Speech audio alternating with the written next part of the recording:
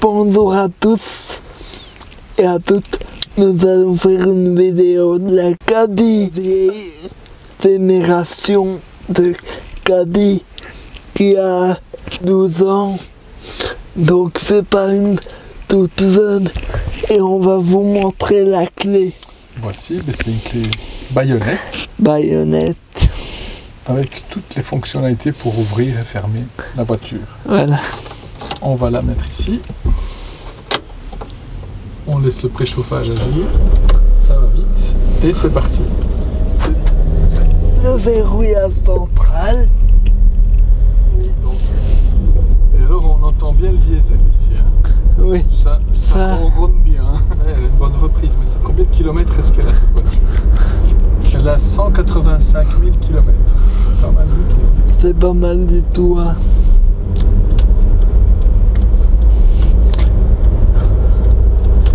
Et moi, ce que j'aime bien dans cette voiture, c'est les grands rétroviseurs. Ah, c'est vrai qu'ils sont. La visibilité dans l'arrière Voilà. excellente. Mais avec le bruit du moteur et le fait qu'on est assis assez haut, on a vraiment l'impression d'être dans une camionnette. hein. Ouais. Je la recommande à tous les indépendants, chauffagistes, plombiers. De vitesse. En tout cas, elle a beaucoup de couple parce que ici on ne va pas très vite. Et euh, on est en pleine montée et on est en cinquième vitesse. Et, le, Elle a beaucoup et la de voiture est encore dans la reprise. On va changer de bande gentiment. C'est vrai. Mais elle est bien. Avec ses nombreux rangements au-dessus de ma tête. On vous les montrera après. Ouais. En tout cas, c'est de la voiture allemande. Le siège est, est- plutôt dur, mais confortable. Et on a une position de conduite qui me fait penser plus à une camionnette qu'à une voiture. Ouais. Elle a le régulateur de vitesse. Euh, C'est vrai qu'elle a. Ici, de nouveau, en cinquième vitesse, on passe de 70 à 90, même en montée très rapidement. Est-ce que c'est un moteur turbo-compressé? Parce qu'effectivement, nous- n'avons pas de GPS dans ce modèle. Il y a 12 ans, c'était pas, non, non. c'était pas prévu. Aujourd'hui, c'est toujours de, de série sur toutes les voitures, tandis qu'à ce moment-là, c'était pas le cas. Et on a la climatisation. C'est une option aussi. C'est très confortable. Et la, la conduite est très légère en fait. Je suppose que c'est assisté, mais le volant est un peu spartiate. Donc, euh,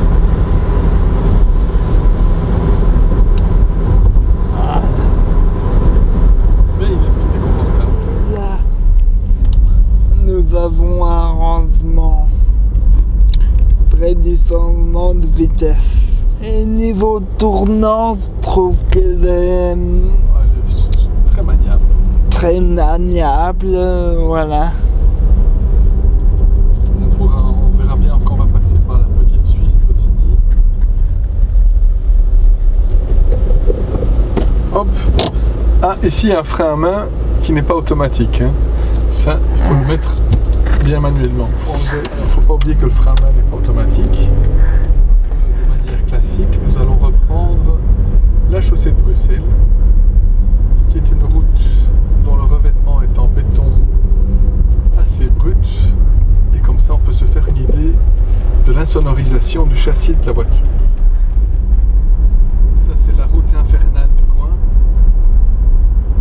Là on sent la voiture qui vibre et le niveau sonore a augmenté. Un peu plus que dans l'Audi. On vous montrera l'extérieur et l'intérieur bien comme il faut. Mais effectivement la Caddy c'est comme un, un- un- un bon compromis entre une berline et, euh, et une voiture euh, utilitaire. Oui. Et le volant, il n'y a rien sur le volant, c'est vraiment un volant euh, classique. Ouais, tout à fait. On a juste le, on a juste le klaxon et un airbag qui est intégré. Ceci. Qu'est-ce que tu penses du contour? Alors pour moi, euh, je- moi j'aime beaucoup d'avoir un contour sur mon tableau de bord parce que ça, me, ça, ça aide à la conduite, surtout pour changer les vitesses. Par contre, le- je trouve que le tachymètre dans un compteur kilométrique n'est pas très lisible. Donc euh, je, je n'ai pas, je vois pas très bien à quelle vitesse je suis. Mais de nouveau, je pense que c'est surtout une question d'habitude. Mais euh, il est vraiment euh, un peu trop discret. Peut-être il est même caché un peu par le volant. Nous avons quitté cette route infernale. Et maintenant, nous sommes dans une route, petite route de montagne pour pouvoir vérifier les qualités de conduite euh, alpine. Voici, c'est un col hors catégorie. Le Tour de France n'a encore jamais osé passer par ici parce que c'est vraiment. euh, Et c'est Voici le grand virage. Martin a du mal à se tenir dans son siège baquet. Il n'est pas baqué du tout. Et pas baquet du tout. Nous allons aller devant le parvis, sur le parvis de l'église Saint-Pie XII. Saint-Pie X. J'oublie tout le temps. Saint-Pie X.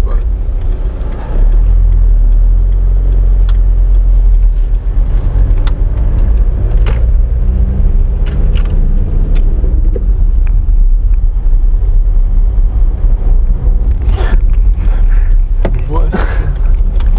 Ici, nous allons avoir un peu de place. Je pense on peut même s'arrêter.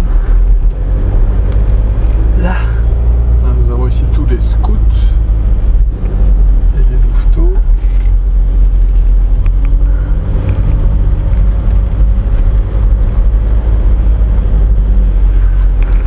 Oula. Sur une place.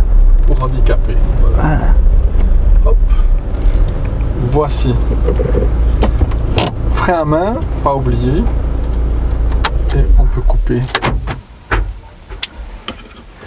Et nous avons le maître d'œuvre. On va vous présenter la voiture. On va vous ouvrir le coffre. Montrer un peu le coffre. Montrer un peu le capot. Euh, Très bien. Alors Martin, dis-moi un peu, pour l'ouvrir le capot, comment est-ce que l'on fait? c'est là. Euh, Hop. C'est cette petite poignée ici. oui. Voici. On tire cette petite poignée et puis après, je vais aller voir comment ça se présente.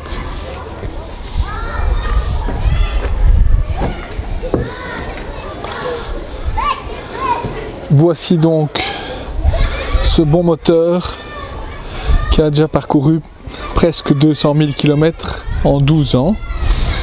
Il a son âge.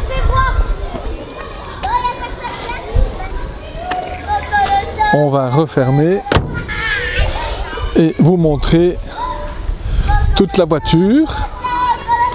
Alors, vous voyez que au niveau passager, on est bien installé.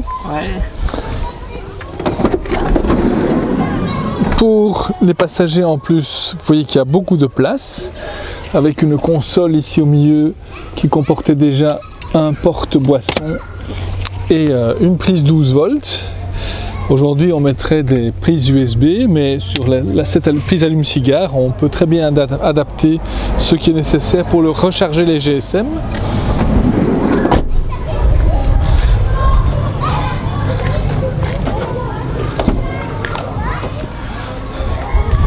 Et voici le coffre qui a une très grande contenance. Nous avons ici le véhicule de campagne de Martin qui nous sert si jamais nous tombons en panne pour pouvoir rentrer à la maison à notre aise.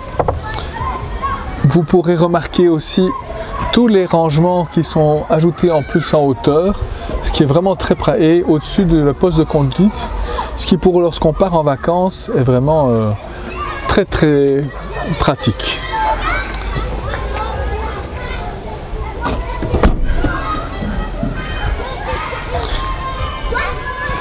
Et dis-moi une chose Martin, en plus on peut rabattre la banquette en deux tiers, un tiers, ce qui nous permettrait d'avoir un très très grand coffre en fait. Et un espace de chargement tout à fait exceptionnel.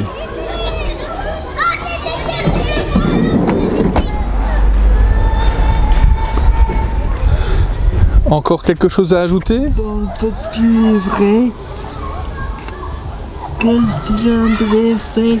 Pour vous le dire On vous reprend tout de suite. Nous sommes en présence d'un diesel TDI, PBI 55 kW, 55 kW, 1 litre 9. 1 litre 9. Et la, la- la capacité du réservoir est de 60 litres de gasoil. La capacité du réservoir est de 60 litres de gasoil, Ce qui nous permet de faire presque 1000 km. ce qui nous permet de faire presque 1000 km. Ce qui pour euh, lorsqu'on part en vacances est, est vraiment tout à fait euh, ce dont on a besoin. C'est bien agréable. Repartir? Oui, on va repartir. On reprend sa clé. On n'oublie pas de remettre sa ceinture de sécurité. C'est absolument indispensable. On débraye. Et c'est reparti.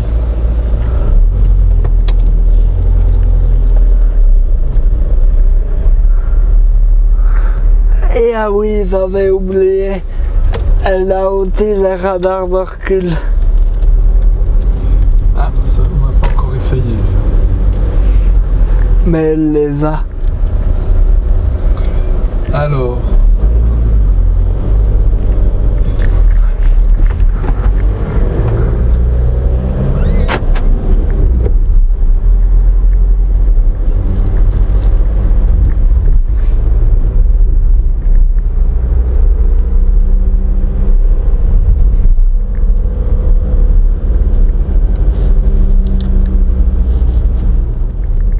Ça va, Et Caro qu'est-ce que tu penses sur petite route Ah ben, en circuit urbain comme ça, c'est, ça, ça se passe bien.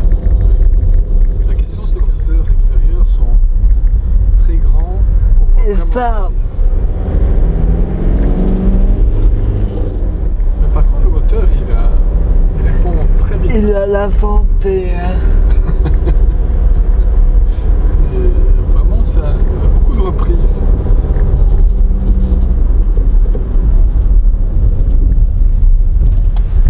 Et même du frein moteur.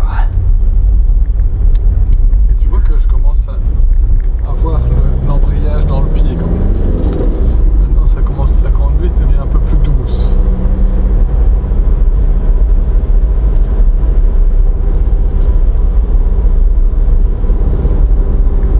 Voilà. Un niveau. Voilà, on nous dit 5,9 litres au 100 km. Ce qui est. Donc 6 litres au 100. C'est pour- une voiture de ce gabarit Voilà. ça m'a- et de son âge, ça m'a l'air tout à fait, euh, tout à fait correct. Si on fait 6 litres au 100 avec un réservoir de 60 litres, on fait certainement nos 1000 km. Et vous remarquerez aussi, la boîte à gants n'est pas fermée. Ah oui, c'est vrai.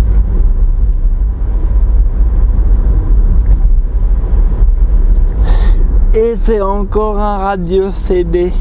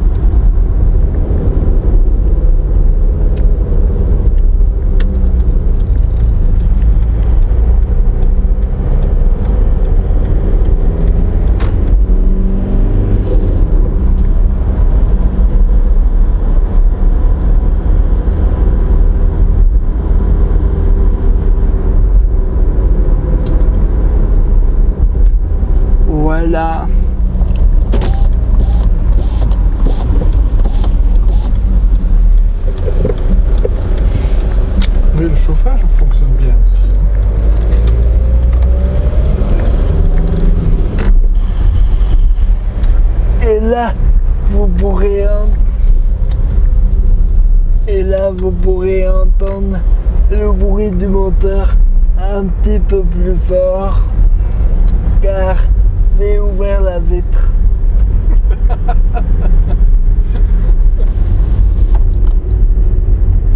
Voilà. Et fermé, ça donne ça. Voilà.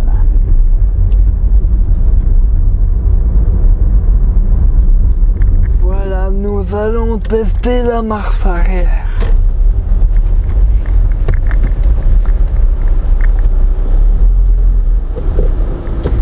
Hop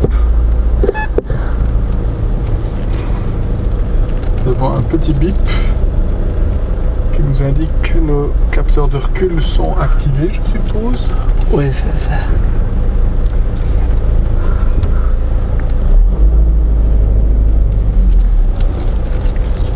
Alors, on va essayer de bien viser. Ceci dit, euh, l'entrée ici de la maison est très bien balisée. Et je- si j'ai bien compris, je dois aller jusqu'au moment où je touche Ouais. avec les roues arrière.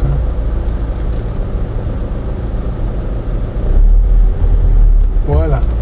Tout en douceur, tu auras remarqué. En deuxième, c'est bon.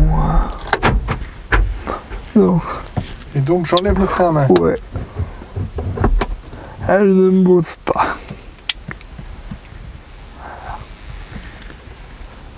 Voici, et donc euh, le mot de la fin. Donc pas de frein à main, mais en Oh. vitesse. On a Oui. oublié de vous montrer le rangement qu'il y a en dessous de mon bras là. Voici. Et le rangement là-bas au-dessus. Et alors nous avons un rangement ici, Voilà. dans lequel on peut mettre les lunettes d'agent secret. Un peu plus Ouais. tard, je me rends compte que je vous ai pas tout montré. Ce que j'ai oublié de vous montrer lors de ma précédente vidéo, c'est les rangements. sous le siège du conducteur et du passager avant. Il y a un petit tiroir sous le siège. Toujours pratique. Oula. Et puis ici, euh, sous le sol des passagers arrière, il y a une trappe.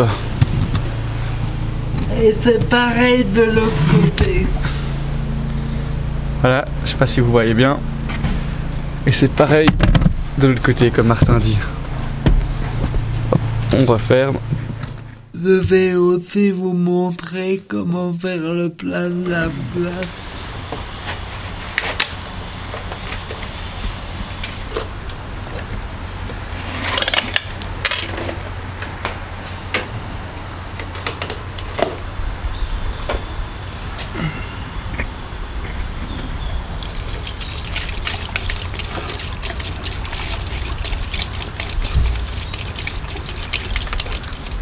C'est plein.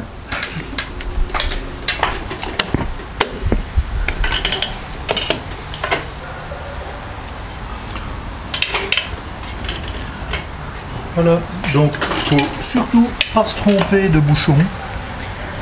Et sur le bouchon, il est représenté le pare-brise, les essuie-glaces. Et c'est comme ça qu'on reconnaît le- l'orifice de remplissage du lave-glace. Chapitre 2, la surprise. Ça, ça se passe assez normalement. La Oui. seule chose qu'il faut savoir, c'est de ne pas utiliser ça comme poignée. Parce Mhm. que c'est- c'est décoratif. Relativement Et donc, je dis pas, si on pousse un peu, comme ça, ça va, mais si Oui, oui, on oui, force oui. dessus, euh, la il y a- longue. il y a la sangle ici et Oui. il y a euh, autour. Les mais, côtés. mais évitez Oui, de oui, prendre d'accord. par là, on voit bien que c'est pas. Oui, oui, oui. super Euh, la roue de secours, évidemment, elle. Euh, pour ouvrir le poignet ici, il y a il y a une compensation enfin, des reins pour que ce soit pas très lourd. Et il faut juste. Le clapet en fait ici il sert à ce que la rampe soit un peu plus longue. Euh, mais aussi que quand on la rabatte, elle ne, ne rentre pas en conflit avec les siennes. Oui, oui, Ça casse le clapet là. Donc voilà. Au niveau des ceintures de devant, vous avez un interrupteur ici. Quand il est allumé, ça libère les ceintures avant. Oui, vous pouvez les prendre. Les dérouler. Et en fait, il y a des crochets ici pour les mettre en attente. Ouais, faut. Parce Vous que voyez euh, pas, mais quand, quand vous rabat ici, elles étaient rentrées parce que quand on rabat la rampe, ben, on, on peut le faire avec les ceintures mises, mais alors il faut les mettre bien, bien le cabine, voilà. Par rapport à la. À, la- à l'ancienne, le bouclier, le bouclier arrière, les feux sont différents, les. Est-ce que vous voulez qu'on fasse un essai avec sa chaise? Oui, hein. Bien sûr, T'as assez de place ici pour te mettre. euh, je pense. Elle, elle tourne bien sa chaise? Oui, oui. Oui, elle tourne euh, sur place. Ok, donc ici tu peux te mettre juste à l'entrée. Hop. Bon, on peut déjà s'arrêter là en fait. Et alors on prend les ceintures avant et on les attache déjà. Ça, vous avez déjà utilisé des décaissements vous, vous en aviez un Je sais plus maintenant. Non, non, non. Mais Vous aviez un caddie j'ai- déjà, Ouais, déjà j'ai déjà vu un petit peu euh, le, Ce qu'il le faut système. voir toujours, c'est essayer que la, la soit le plus droit possible. Donc ici, moi, je l'ai mise par en dessous. Ah oui. Parce que si elle se sort, comme c'est un long enroulement, si elle est tournée sur elle-même, ben, elle va plus rentrer à fond. oui, oui, quoi. elle- Et, elle va euh, et donc si jamais parfois elle renroule pas à fond, en général, il faut les sortir une fois, voir s'il n'y a pas un nœud dedans oui. et, euh, et les. D'accord. Voilà. Je dirais que c'est c'est un peu le point faible du décaissement. C'est pratique de faire comme ça, comme ça on ne doit pas aller On devant doit pour pas aller attacher. les, les accrocher. euh, Mais oui. c'est. il faut, il faut y faire, faut y faire attention. on dire. C'est- Et c'est du. c'est du lait que fois. Là, Ouais, ouais, c'est des lettres. Ouais, ouais. ouais. Mais malgré tout, il fait pas très clair. Je sais pas si c'est.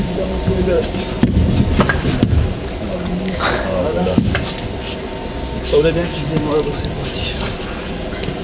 Et voilà, tu peux rentrer. Alors, quand on est avec la chaise électrique, c'est pas très important. Mais quand on est avec une chaise manuelle, on peut déjà couper l'interrupteur. Et alors, si jamais on glisse ou quoi, elle sait pas re- Reculer. quoi. Donc là, pas reculer, hein, Martin, avec ton électro. Mais je peux, je peux Parce la les laisser allumer si jamais, euh, Oui. pour pas forcer dessus. Tu quoi. entends la différence? Ouais. Ici, tu, Ouais, c'est comme un ici, ici hein, tu peux reculer s'il faut. Oups, je vais te mettre moins vite. Ouais, c'est vrai que la chaise électrique, il y a toujours un petit, un petit moment de, de mou avant que ça ne démarre. euh. Oui, oui.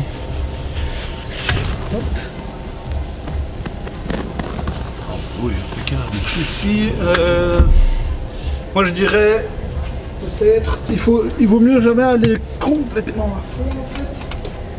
Parce que quand, bon, déjà pour les sangles de devant, mais là c'est quand j'ai éteint les sangles, c'est bien de peut-être donner un petit coup en arrière pour les tendre un peu, Ah oui. et quitte à avancer un peu après. Pour qu'elles soient bien en tension, quoi. Euh, encore un petit peu en arrière. Encore enfin, peu en chez, moi en tout cas, c'est encore mou. Elles sont. Ouais. Ici, elle, est- elle est, elle est pas mal Elle est- tendue. Il faut voir si on a assez de place derrière. Elle est pas mal tendue, hein. Ça, c'est un peu au feeling. C'est vrai qu'avec une chaise électrique, c'est pas facile de sentir, On évidemment. Oui. avancer vraiment à fond. Voilà, on voit que c'est c'est bien tendu. Oh oui. Euh, donc là, moi, je conseille de couper le, la, la chaise pour plus bouger. Oui. euh, la- La petite surprise que je vous ai parlé dans ma vidéo. Voilà. Ça se glisse simplement ici. C'était ça. C'est plus ou moins le même, c'est pas la même marque, mais c'est semblable. Et c'est aussi quand ils sont rentrés à fond, ils sortent aussi tout seuls.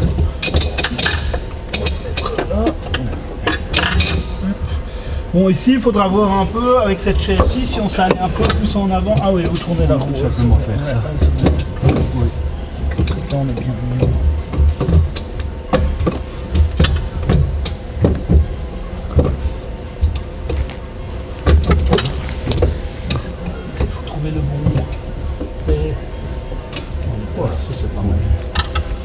Alors au niveau de la ceinture ventrale, vous allez voir, c'est pas très lourd comme.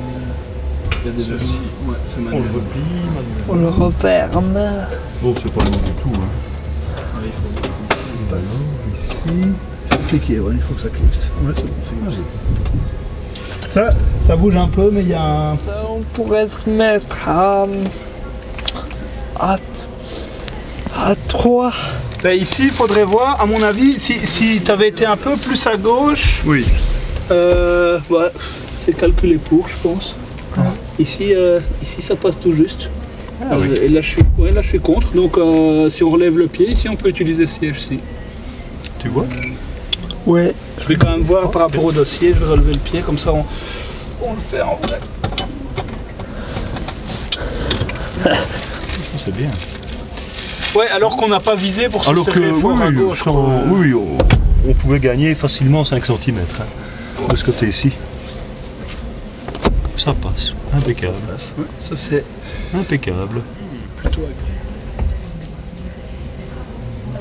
À combien de kilomètres 48. 48. 48. Et ça, c'est. Ah, C'est comme dans l'autre. Vous avez un rendement au-dessus Oui, Ah, dans Du- passager. le rangement là au-dessus Ouais. de la place avant, oui. Oui, oui, ça c'est Ouais, comme ça dans- reste des bases euh, utilisées qui ont pas mal de Oui. astuces comme ça. Là, il n'y a un pas. de ceinture au, au cas Alors, où il y a pour un sortir, donc on, ra- on rallume le- l'interrupteur ici Mais pour libérer. moi, je dois un peu réavancer. Oui, c'est ça. Tu allumes ta voiturette? Toute façon, si, si tu essaies de reculer et que c'est calé, tu le sentiras. euh, Ici, Tu le on fais. avance un tout petit peu, Ouais, c'est bon. toujours décalé. Et voilà. Ouais, même avec le siège. C'est vrai qu'avec le siège, ça laisse moins de marge pour avancer. Oui, mais Mais ça va.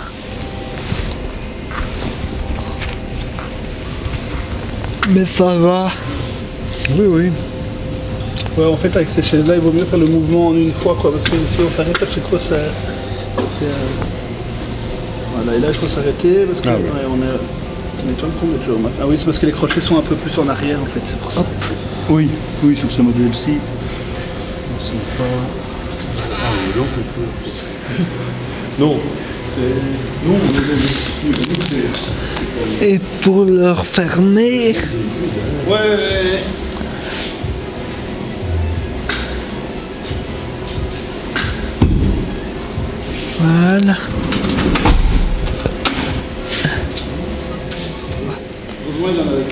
Elle sera comme ça.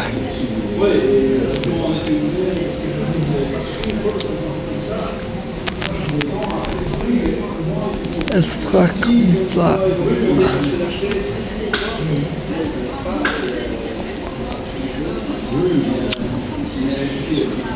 Voilà. Ça, comme on décrochait pas le téléphone et. Ouais, je dis pas qu'ils savent tout faire, mais c'est vrai qu'en général, c'est bon, c'est rare d'être dans des situations comme ça, mais on a déjà eu des Voilà. des sièges pivotants allaient à l'extérieur, des trucs comme ça. Euh, Nous, on nous a déjà ramené sur une dépanneuse, le siège pivotant dehors.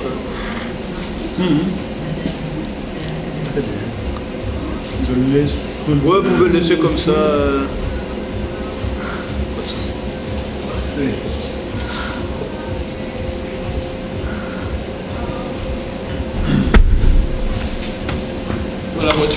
ça ne change pas grand-chose par rapport à, à votre ancien caddie. Non, hein, non, non, non. Le, le modèle n'a pas changé depuis quelques années.